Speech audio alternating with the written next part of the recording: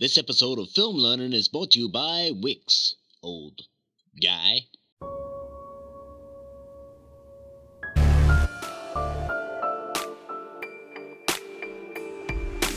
Hey guys, welcome to Film Learnin, the show dedicated to learning you some filmmaking and learning good. And you know guys, over the years I've been asked a plethora of questions, such as, hey, why did you go bald? Uh, why is there a mattress in the corner? What's that smell? Why is there a picture of Rob Schneider on your monitor? What are you doing in my backyard? And why are you wearing a mini captain's hat? Well, that's because sometimes I only feel like a little bit of a captain. Salute! And one of those questions that has popped up from time to time ever since we launched the filmlearnin.com website is how did you build your website and who did you build it with? And that's a twofold question that I can answer with one word. Wix. Wix approached me about a year ago and said, how would you like to build a website using our service and then teach people how to build a website? So naturally I said, yes, and here we are today. So before we jump into the tutorial, let's naturally segue into a pre-recorded message. Chimpanzee riding on a Segway. Let's face it guys, if you haven't heard of Wix, you've either never been on YouTube or you're living under a rock. Which I've gotta ask, why are you living under a rock? Uh, Isn't that dangerous? But I digress. For those rock dwellers amongst you, Wix is one of the easiest platforms to use for website creation with loads of templates to jumpstart your creativity and the ability to customize virtually everything. The only limit is that brain of yours and perhaps a living under a rock situation. So sign up for a free account, move out from under that rock, and build a website. Man, I really got stuck on that living under a rock thing. You think this'll do? Yeah, it's fine. Smooth transition, Grant. Now guys, I thought it'd be a cool idea if we just recreated the Film Learnin website in the tutorial using a base template just like I did when I built the original website and going all the way through to its completion. It does mean there's quite a few steps, but it also means that you're going to get a really in-depth tutorial. So, let's get to work. Okay guys, so here's our first step. We're at the Wix website homepage and all we need to do is click get started. So let's do that. From there we're taken to the login page where you have the option to either sign up or sign in. And since I've already created a Wix account, I'm going to sign in. From there we'll be greeted with the welcome screen. And since this is the first time we're creating a website, we simply have to click create your website to start the process. Once your website's published, this will convert to more of an admin page. So the first thing Wix asks us is what kind of website you'd like to make, as each of the templates are categorized into genres or professions. Now I'm pretty sure the Film Learnin site was either photography or portfolio and CV, so let's just click one of those. This brings us to the template page.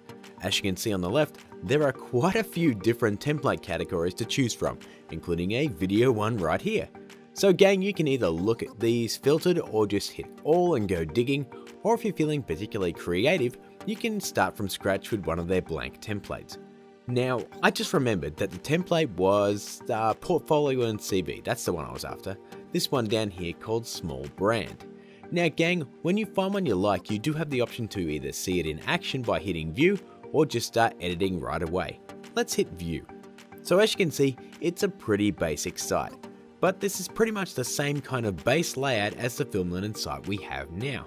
So let's pull our collective finger out and hit edit. This is going to open up the Wix website editor and we can start to play. Now the first thing you'll be greeted with is a tutorial pop-up on getting started.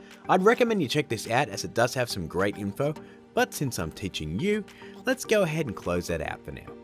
Now let's get started by replacing this video here with say the Film Learnin channel trailer. To do that, we click on it, head up and click change video.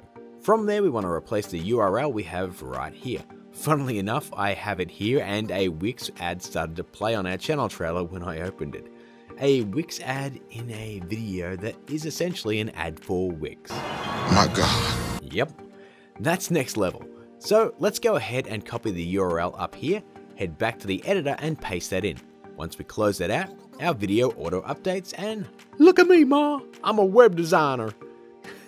Next step is adding a new background to the site as this one is a tad plain. But first we need to add a white background layer behind our video to separate it from the background and make it pop out a little. So what we need to do is head over to the add menu right here, find box and drag and drop that into our page like so.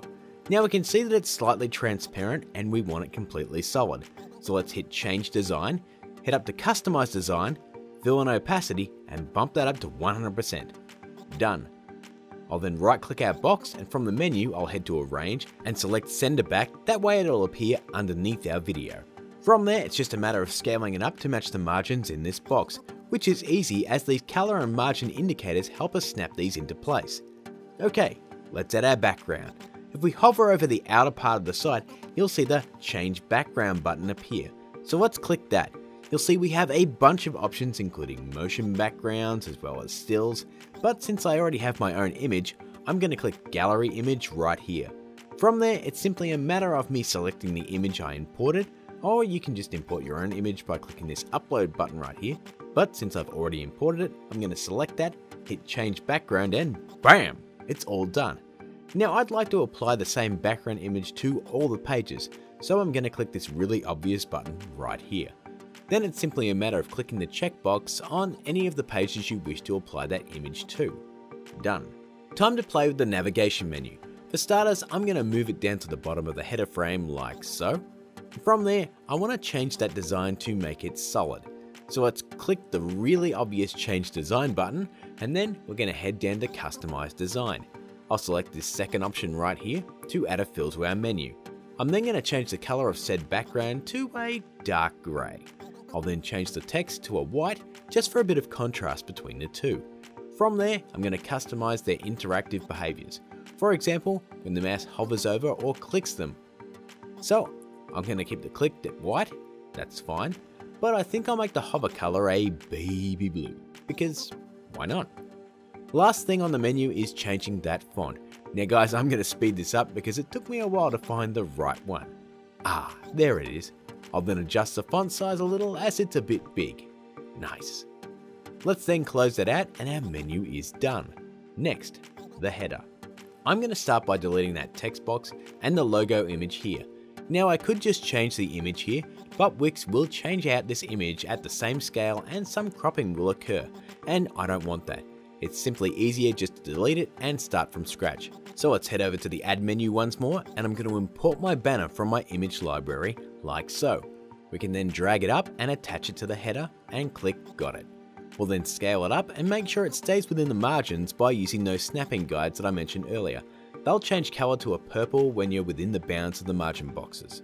Now I might thicken up my menu bar a tad, but as you can see, my banner image is actually cutting off the top of the menu. So once again, we'll click arrange on the image and select the image to go to the back so our menu sits on top like a proud mama hen. Last thing I want to do here is change this copyright text down here to something a little more, well, not that. There we go. I might adjust my banner just a little bit more because I'm super anal. Done. Let's hit preview. Oh, speaking of anal, I just noticed the curved edge on the menu here, which I really don't like. So to fix that, let's head back to the editor, right click on our menu and click design customize design, head to border, and I'll just zero out that curved edge. Much better. Let's then adjust it to snap to the margins and check out a preview. Alrighty, our first page is done and that took no time at all. If we compare the two pages, you can see just how different they are and on top of that, how damn easy it was to achieve that result. So let's keep going and make the rest of the Film Learnin website as best we can in the shortest amount of time. Let's head over to the site menu and click on Manage Pages. From there, I want to delete these two subpages under Collections as we don't need them. To do that, we click on this menu button on the side of the page and select Delete, which we're prompted with a warning which we'll totally ignore. Okay, done. Hmm, you know what? I'm going to go ahead and delete that blog page as well. Done. Now I still need one more page to make up the site I'm designing, so rather than build that other page, I'm going to click the menu here and select duplicate and we'll just call this page merch. Let's then double click collections and change that to the show. And we'll change about to say download. Okay, let's go back and start with the show. Now the idea here is to have this stream the YouTube channel directly from the site and at this moment you can see the page is full of text and pictures and we don't want that so let's just go ahead and delete all that. And from there we'll head over to apps and we'll search video. We'll then select Wix Video and we'll hit the big old Add to Website button. Let's move that down like so, and from there, it's time to customize it. For starters, we'll go to Manage Videos, and you can see on the bottom area it says Embed any video from YouTube, Vimeo, and Facebook, which is handy. So let's add our channel URL right here. I'll just head up and copy it directly from YouTube like so, and let's paste it in here. All done. So let's hit next and follow it up with add feed. We'll close that out, and from there we're going to head to settings, head to channels, and from the menu, let's select our YouTube channel. There we go, it is now embedded in our website. Now I'm not digging the default look of this thing, so let's customize that. Firstly, we'll add a few more rows below the feature one by increasing this number to say 3. Nice. And I don't like the banner just sitting there, so let's head to player and change that to feature video cover. And since our thumbnails already have titles, let's go ahead and remove the title, as well as the channel name since I'm pretty sure it's Film Learnin. Lastly, I want to change that play button color to stand out a little bit more.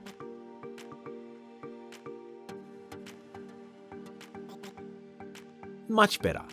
If we check out a preview, we now have our YouTube channel embedded into our website. And if we compare the two sites, here's what the page looked like, and here's what it is now. Not bad for a few minutes work, right? So the next page is our merch page. Now the idea here is to link to my Teespring merch store, an external site, but make it seem like it's a normal fluid part of the site. So to do that, let's head to the Pages menu, Manage Pages, let's go ahead and delete that merch page. Yeah, I didn't actually need it. From there, we'll head down and click Add Link. We'll make sure web address is selected here, and we'll go to my merch store. Well, check out the merch store if you, let's just copy the URL and stop whoring. And we're gonna paste it here and hit done. And bam, all linked up. Let's rename our link merch, and hit done. It adds itself to the site menu, and if we preview our site, look at that. We hit merch, and there's our external merch site all linked up to our menu and working great. Then while we're here, why not pick up a My God shirt, gang, designed by our very own Tyler Lampshire. Okie dokie, let's move on to the download section and we're on the home stretch gang. Now as you guys know, when you download a pack from our Film Learnin site, you click on a thumbnail and the pop-up window comes up with the download link. So I'm going to show you how to do that using Wix Lightboxes. Let's start by adding a lightbox. We'll head over to add, down to lightboxes, and I'm just going to go ahead and speed this up because it took me a while to find a lightbox I wanted. Well, there we go. I'm also going to speed up me farting around with the design of this lightbox because we all know how to edit a text box and I'm not going to go over that. Now that I'm done, let's finish this by clicking the download button and clicking the link button here.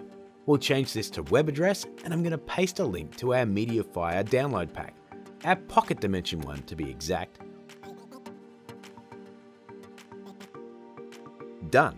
Let's now head back to our Pages menu, hit Pages head to Lightboxes, and let's finish off our lightbox by renaming it Pocket Dimension.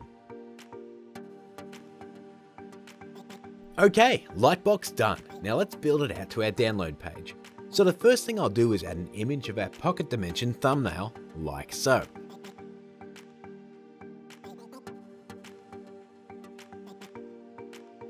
I'll then scale it down to a reasonable size and position it into place. Next, I want to link it to the lightbox I created. To do that, we hit the link button and change it from web address to lightbox. And since we only have one lightbox, it's going to link it by default to our Pocket Dimension lightbox. We can then click Done. If we preview this, we click on the picture and our lightbox comes up. Nice. So my next step is to duplicate my image here and fill out the page just a little bit more, just for an example. So I'll right click and copy and paste. We can then use the snapping tools to easily align the picture to the middle of the page. Let's then copy and paste again and make a nice row of three. I'll then select the middle image and click change image. Let's then change it to a different thumbnail and then follow that up by changing the second one as well. Next, we need to make some more light boxes, and we're going to cheat here guys by heading to manage pages, light boxes, and we'll duplicate that light box we just created and rename it to say Spider-Man and then we'll simply edit the MediaFire link hit done. And one thing I want to also mention guys is you can save this site at any time before you publish it. So I highly recommend you hitting that save button as much as you can. Say every time you finish a page or anytime you make any kind of significant change to the page. And follow that up by duplicating that one and modifying that MediaFire link to our Thanos Reality Stone pack.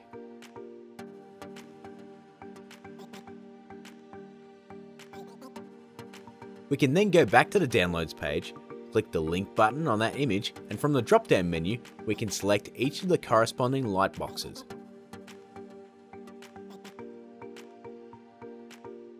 Pretty easy huh gang? If we preview the site we now have three images linked to three light boxes that all have different external download links embedded into them. Okay, last page gang, the contact page. Now guys, there's two different ways to do this so I'm going to quickly mention both of them. The first method is to simply link the tab directly to an email link. To do that, we'll head to Manage Pages right here. We'll go ahead and hide the current contact page by doing this. From there, we'll head down and add a new link. Set this to email right here. We'll then type our contact email and a completely serious subject line. Hit done, rename it to say contact us and if we preview it and we hover over the contact tab right here, you can see down the bottom the link is a mail to link and including that subject line. So that's one way. The other way is to simply enable that contact page and modify it to suit our needs, so let's do that quickly. Let's head back to the Pages Manager, hide that page link we just created, unhide our previous contact page and let's get to work. Firstly, I'm going to delete anything I don't need which means these lines and text boxes right here. I'm then going to grab everything by just clicking and dragging and just move it up. Next, we're going to change the display to email here to our Film Learnin one. There we go. And lastly, I want to get rid of these social links here because our final step is to add a social bar to the header of our site. To add that social bar, let's head over to the add menu, down to social and grab the social bar. We're then going to drag it up and attach it to the header of our site. From there, let's click Set Social Links, and I'll quickly delete Pinterest and Google Plus because, well, I sure as hell don't use them. And then I'll add in all my links to the remaining ones, which is super easy. Once done, we'll close that, and I might move the social bar over here. And then let's have a preview look at our finished site. As you can see, our social bar is working with all of our accounts, and if we do one last comparison, here is the small brand site we started with all white and plain with just sort of text boxes. And here's the film learnin site I just built right before your eyes in Wix with an interactive YouTube page, the social bar all set up, external links to our merch store and our download packs. And that, my friends, is our first web design tutorial mm, done. So add up all those steps and you've got yourself a kick-ass website with Wix. Now guys, I am going to mention that the example site that we built is a free Wix website. If you want to say connect a domain name, increase your web storage, you will have to sign up for a premium membership.